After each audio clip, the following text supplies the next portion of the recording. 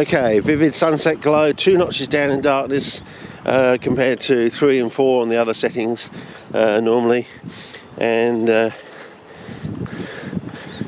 and with uh, two notches right, two notches down on the colour grid. So we should be matching colours now, or somewhere near about.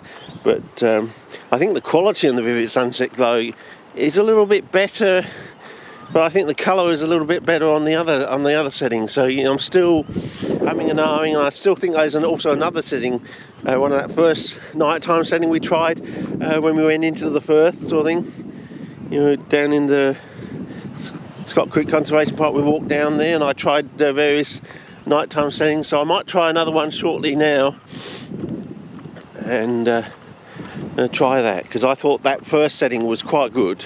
So that might actually be the one, and we've sort of accidentally gone past it. You know, we sort of mm, we put it to one side without realizing we can make it better just by notching the uh, the darkness down, sort of thing, and then it would be perfect. But we didn't know at the time, sort of thing. But uh, yeah, we've got all these little swale places and things in here we can look at, you know, later on through the season, and. You can see there's quite a bit of moisture going around in these places, so you never know what you're going to find. The odd glitch. Whoa, look at that. Look at that, fellas. That's, that's blowing in the wind.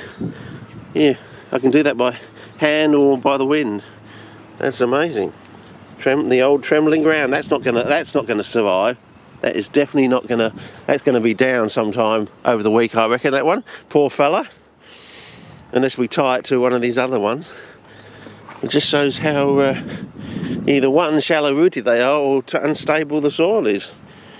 Yeah, anyway, maybe time to start a new clip in a different setting. We'll try the first artistic uh, nightscape I think we tried. Okay, over and out.